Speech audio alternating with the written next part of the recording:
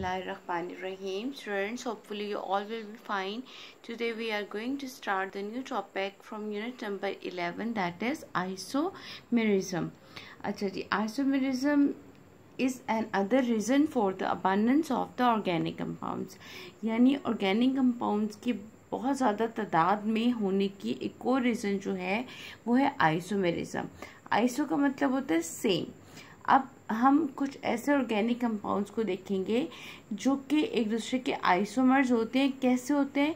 क्योंकि उनके same molecular फॉर्मूले होते हैं, लेकिन उनके डिफरेंट स्ट्रक्चर होते हैं।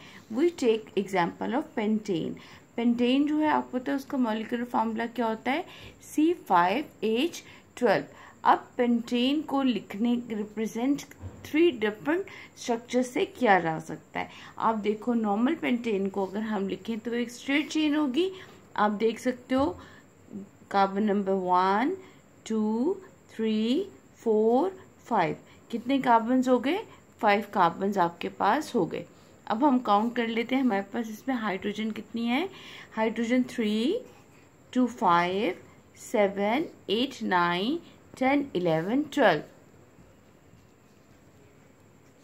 इसी तरह से आप दूसरा स्ट्रक्चर देखो। इसके अंदर हमारा ये जो है वो आइसोपेंटेन है। आइसोपेंटेन क्या होता है? एक ब्रांच चेन होती है।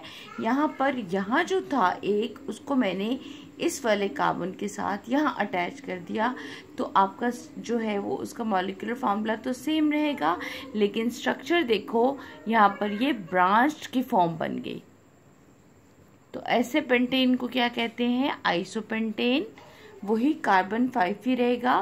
हाइड्रोजन जो है वो ट्वेल्व ही रहेंगे, लेकिन स्ट्रक्चर जो है, ऊपर नॉर्मल था, यहाँ पर इसकी एक ब्रांच इन बन गई, जिसकी वजह से इसका नाम क्या है?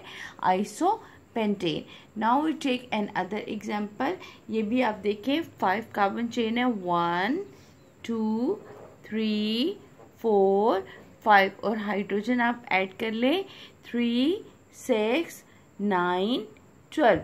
और हाइड्रोजन आपके पास ट्वेल्व भी रहेगी, लेकिन चूँकि इसका स्ट्रक्चर टोटली चेंज है, इसलिए इसका नाम भी चेंज होगा। दैट इज़ नियोपेंटेन तो आप देख सकते हो, अब हम इसको प्रॉपरली डिफाइन कर लेते हैं।